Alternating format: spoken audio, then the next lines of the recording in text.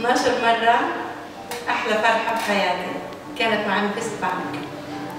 وعندي مشاريع كثيرة من ضمنها أنا راح أكتب لأمي وكانت فرحة حلوة خصوصا وأنا مسافرة على فلسطين أجانا الخبر. شكرا لكم. شكرا.